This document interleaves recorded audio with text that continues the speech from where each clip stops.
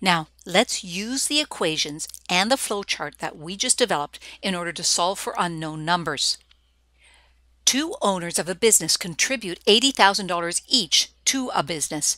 During the year, the business has expenses of $290,000, paid dividends of $20,000, and earned revenues of $350,000. What is equity? The easiest way to solve these questions is to use a matrix. Now, let's go back to the flowchart for a second so that we can see how this is developed. Remember that assets are equal to liabilities plus equity. Underneath equity is the owner's capital and the retained earnings. And underneath the retained earnings is the profit and the dividends. And underneath the profit is the revenue and expenses. So when you look at it, equity is equal to owner's capital plus revenue minus expenses minus dividends. So we can put that into our matrix because Assets have nothing underneath them and liabilities have nothing underneath them. So all we need to understand is what goes underneath equity. So for opening, during, and closing, I'm going to have assets equals liabilities plus equity. And under equity, I'm going to have revenue, expenses, dividends, and new contributions by owners. That's going to equal the closing. It should also be noted that for a brand new business like this one, the opening balances are all going to be zero. So let's fill in the known information. Two owners of the business contribute $80,000 each. That's $160,000. We know that the expenses are 290,000 and expenses reduce equity, so we're going to put them in brackets to indicate that they're negative numbers.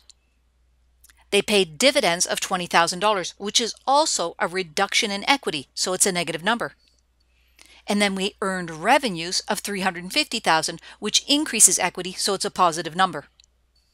We know nothing about assets and liabilities, but the question only asks us what is the equity, and I'm assuming that's at the end of the period. If we do the math down this column, closing equity is equal to $200,000.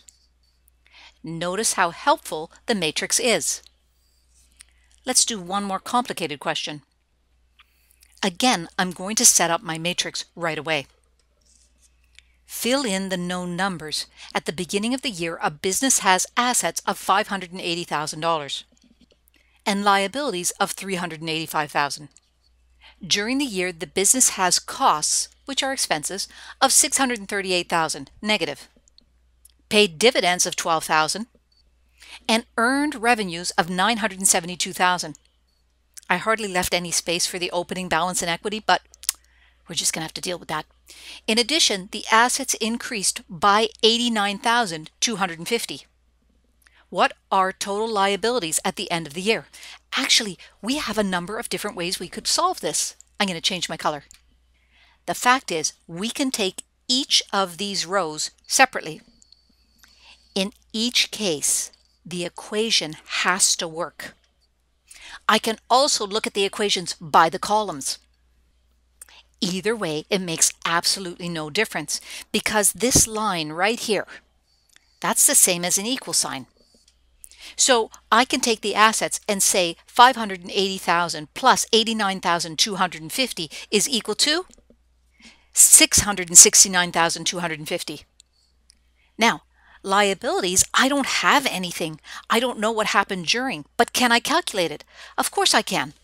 I can calculate it using the row because 89,250 is equal to X plus all of these numbers together.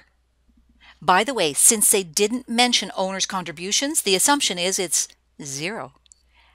So can I solve for the change in the liabilities during the year? And the answer is yes, I can. But I don't really have to. Instead, what I'm going to do is I'm going to solve for the opening equity. 580,000 minus 385,000 is equal to 195,000. Now I'm going to solve for this column. 195,000 plus 972,000 minus 638,000 minus 12,000 is equal to 517,000.